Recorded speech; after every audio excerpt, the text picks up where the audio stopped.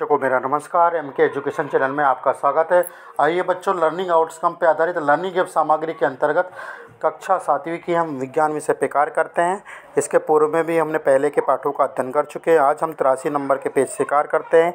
उत्क्रमणी परिवर्तन के बारे में हम जानेंगे। पहली बार वीडियो को देख रहे हैं, चैनल को सब्सक्राइब नहीं किया तो सब्सक्राइब करके बेल आइकन को प्रेस कर लें ताकि आने वाली महत्वपूर्ण वीडियो का नोटिफिकेशन आप तक पहुँचते रहे। उत्क्रमणी परिवर्तन ऐसे परिवर्तन को जिसमें पुन पदार्थों को पुनः पूर्व स्थिति में लाया जा सकता है, उन्हें उत्क्रमणी परिवर्तन कहते हैं। क्रियाकलाप, एक गुब्बारा लीजिए और उसे फुलाइए। सावधानी बरतें कि वो फट ना जाए। गुब्बारे का आकार एवं अब माप बदल गया। अब इसकी हवा निकाल दें। दूसरा है, गूथे हुए आटे की एक लोई बनाइए। इससे रोटी बन बेलने की कोशिश कीजिए। शायद आप उसके आकार से खुश ना हो। इस रोटी को दोबारा लोई में परिवर्तित करना चाहेंगे। क्या ये संभव है कि गुब्बारा अपने पूर्व आकार और माप में वापस आ जाएगा? क्या गूथे हुए आटे से पुनः लोई बनाना संभव है? यह दोनों क्रियाकलापों से निष्कर्ष निकलता है कि जिस पदार्थों से क्रियाकलाप प्रारंभ हुआ है, उसी पदार्थ को वापस लाया जा सकता है। अब यह क्रियाकलाप में एक में लिए गए गुब्बारे को फुलाने के बाद नुकीली पेंसिल से छेद किया जाए तो गुब्बारा फट जाएगा। इसी प्रकार गुथे हुए आटे की लोई से रोटी बनाकर तवे पर सेकिए। हमने देखा, अब गुब्बारे व आटे की लोई को वापस पूर्व अवस्था में नहीं लाया जा सकता, अतः इन परिवर्तनों को उत्क्रमित नहीं किया जा सकता है। बच्चों, अब हम अभ्यास वर्कशीट पे कार्य करते हैं। पहला है, जब आप अपने इलाके में जलमग्न इलाके में घूमते हैं तो अपनी पोशाक को मोड़कर उसकी लंबाई कम कर लेते हैं। क्या इस परिवर्तन को उत्क्रमित किया जा सकता है? हाँ इस परिवर्तन को उत्क्रमित किया जा सकता है। उदाहरण देकर उत्क्रमित किए जाने वाले तथा उत्क्रमित ना किए जाने वाले परिवर्तनों में अंतर स्पष्ट कीजिए। उत्क्रमित किए जाने वाले परिवर्तन में पदार्थों को पुनः वापस लाया जा सकता है। और उत्क्रमित ना किए जाने वाले परिवर्तनों में पदार्थ, वाले परिवर्तनों में पदार्थ को वापस पुनः नहीं लाया जा सकता है। अगला प्रश्न है, रात्रि में सीमेंट की बोरी जो कि खुले मैदान में रखी गई थी, वर्षा के कारण भींग जाती है। अब तेज़ धूप निकल जाती है, सीमेंट में जो परिवर्तन हुआ क्या उसे उत्क्रमित कर सकते हैं? नहीं, सीमेंट में हुआ परिवर्तन को उत्क्रमित नहीं कर सकते हैं।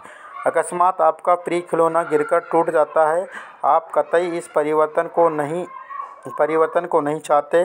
क्या ये परिवर्तन उत्क्रमित किया जा सकता है? नहीं, खिलौने के टूट जाने पर उसे उत्क्रमित नहीं किया जा सकता है।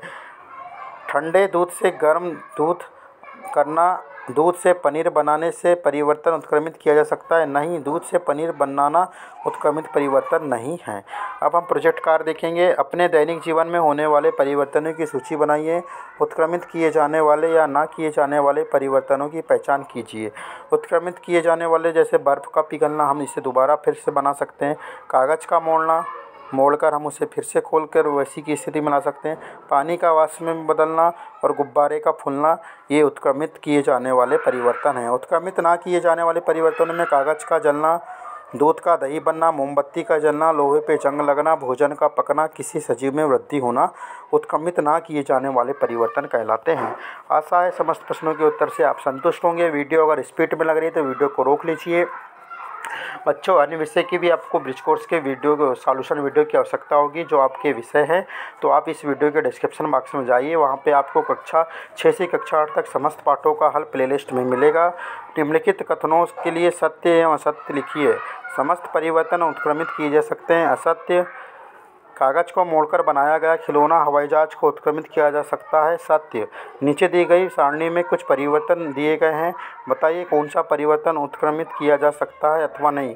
जमी हुई आइसक्रीम से पिघली हुई आइसक्रीम। हाँ खाना पकना नहीं, दूध का दही में बदलना नहीं, आम का पकना नहीं, नमक का जल में घुलना। हाँ गाढ़े घोल से इडली बनाना नहीं, कली से फूल का खिलना नहीं।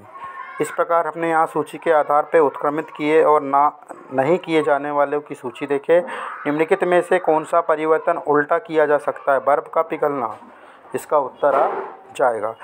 प्रश्न नंबर चौथा है, निम्नलिखित में से कौन सा परिवर्तन उत्क्रमित किया जा सकता है? कली से फूल, गाय के गोबर से बायोगैस, खींचे रबर बैंड से सामान, साइज़ की रबर बैंड यही इसका उत्तर आएगा।